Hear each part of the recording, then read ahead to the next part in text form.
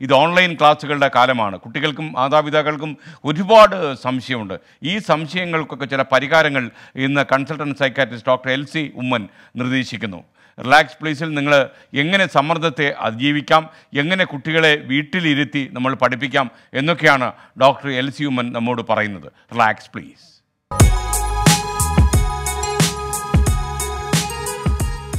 ഞങ്ങൾക്കും പറയാനുണ്ട്. ഓൺലൈൻ ക്ലാസ്സുകൾ ആരംഭിക്കുന്ന ഈ സമയത്ത് അധ്യാപകരോട് പറയാൻ ആഗ്രഹിക്കുന്ന കാര്യങ്ങളാണ് ഇന്ന്. പല മാതാപിതാക്കളും അധ്യാപകരോട് പറയണമെന്ന് ആഗ്രഹമുണ്ടെങ്കിലും പലരും തുറന്നു പറയുന്നതിന് വിമുഖത കാണിക്കുന്നു. ഒന്ന് മാതാപിതാക്കൾക്കുള്ള ക്ലാസ്.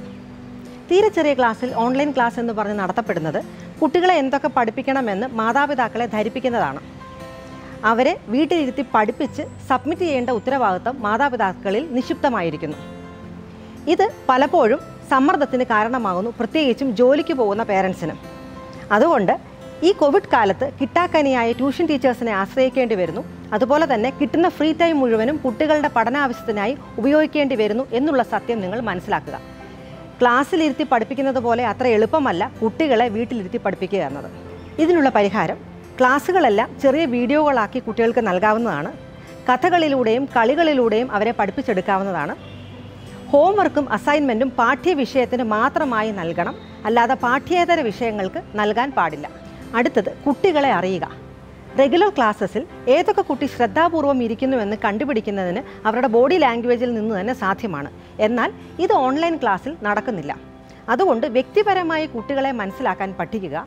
ഓരോ കുട്ടിയും വ്യത്യസ്ത സ്വഭാവവും കഴിവുകളും പോരായ്മകളും ബുദ്ധി വൈഭവവും ഉള്ളവരാണെന്ന് തിരിച്ചറിയുക. നിങ്ങളെക്കുറിച്ചുള്ള വിലയിരുത്തലുകൾ മാതാപിതാക്കളുടെ ഭാഗത്തു നിന്ന് ഉണ്ടാകുമെന്ന് ഓർക്കുക. അതുകൊണ്ട് പഠിപ്പിക്കുന്ന കാര്യത്തെക്കുറിച്ച് നിശ്ചയദാർഢ്യവും വ്യക്തതയും ഉണ്ടായിരിക്കണം. നല്ലതുപോലെ പ്രിപ്പയർ ചെയ്തതിന് ശേഷം മാത്രം വീഡിയോസ് അപ്ലോഡ് ചെയ്യുക. വേണമെങ്കിൽ വീട്ടിൽ ആവശ്യത്തിന് റിഹേഴ്സൽ ആവാം. മുതിർന്ന കുട്ടികൾ സ്വയം പഠിക്കട്ടെ.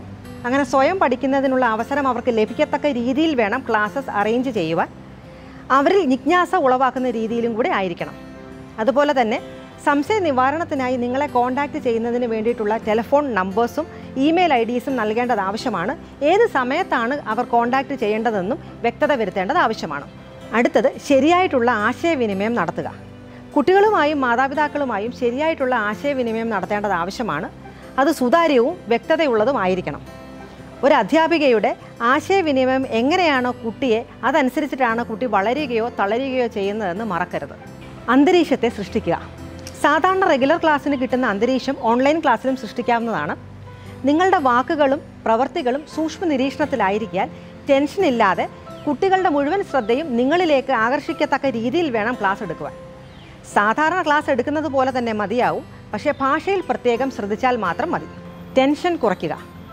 സമ്മർദ്ദമേറുന്ന ഈ കാലഘട്ടത്തിൽ അധ്യാപകർ കുട്ടികളുടെ മനസ്സിൽ പോസിറ്റീവ് ചിന്തകളെ രൂപപ്പെടുത്തത്തക്ക രീതിയിൽ സമ്മർദ്ദരഹിതമായിട്ട് വേണം കാര്യങ്ങളെ അവരോട് അവതരിപ്പിക്കുവാൻ. അവരെ ക്ഷമയോടെ കേൾക്കുകയും പ്രകോപനം വരുമ്പോൾ സംയമനം പാലിക്കുകയും അവരുടെ അജ്ഞതയെ ക്ഷമിക്കുകയും ചെയ്തു വേണം അവരോട് ഇൻട്രാക്ട് ചെയ്യുവാൻ. അങ്ങനെ ഈ പുതിയ അധ്യയന വർഷം നിങ്ങൾക്കും ഒരു പാഠമാവട്ടെ അനുഭവമാവട്ടെ എന്ന് ആശംസിച്ചുകൊണ്ട് നിർത്തുന്നു. നന്ദി നമസ്കാരം.